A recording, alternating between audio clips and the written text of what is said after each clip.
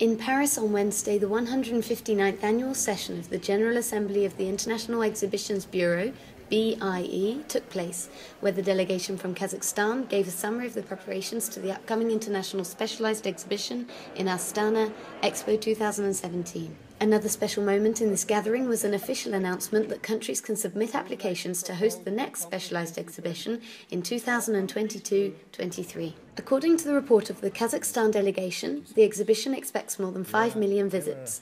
To ensure this objective, the country simplified the visa procedures for numerous countries of the world.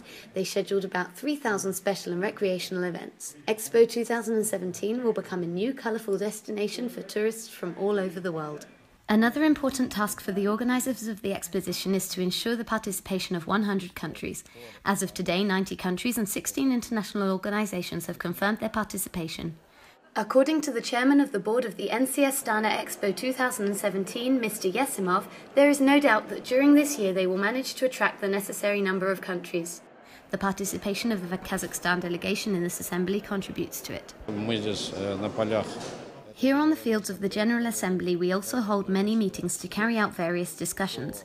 The country representatives are interested in the way the exhibition will be held, what the conditions are, including questions of taxes and customs. So, our government made a decision to grant large tax benefits and preferences to countries participating in the exhibition.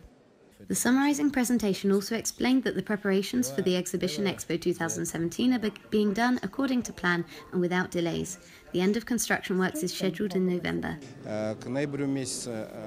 By November, we will have invited the participants to the third meeting in Astana, and starting from January, countries will be able to start working in their pavilions and begin their projects. There will be enough time to prepare our exhibition for June. We start on June the 10th and close on September the 10th.